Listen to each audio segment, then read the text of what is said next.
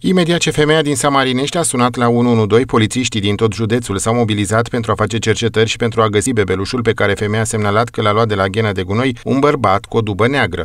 Vineri, polițiști din cadrul Poliției Municipiului Motru au fost sesizați de o femeie din comuna Samarinești cu privire la faptul că fiica sa minoră i-ar fi relatat că ar fi găsit un nou născut abandonat într-o ghenă de gunoi de pe raza localității de domiciliu, copilul care i-a fost luat de un bărbat necunoscut care a coborât dintr-o dubiță neagră și apoi a fugit.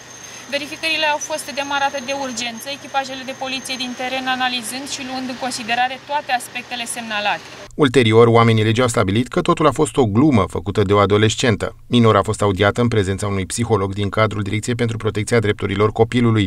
În urma investigațiilor și a cercetărilor efectuate la locurile indicate de către minoră, nu au fost identificate urme ale vreunei, vreunei infracțiuni și s-a stabilit că cele sesizate nu se confirmă.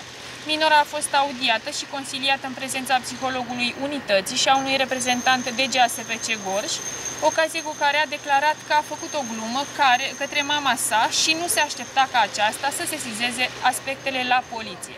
Polițiștii atrag atenția asupra acestor sesizări false la 112. Oamenii legii fac apel la populație să nu apeleze nejustificat numărul de urgență, ci doar în caz de nevoie și atunci când cele reclamate sunt adevărate.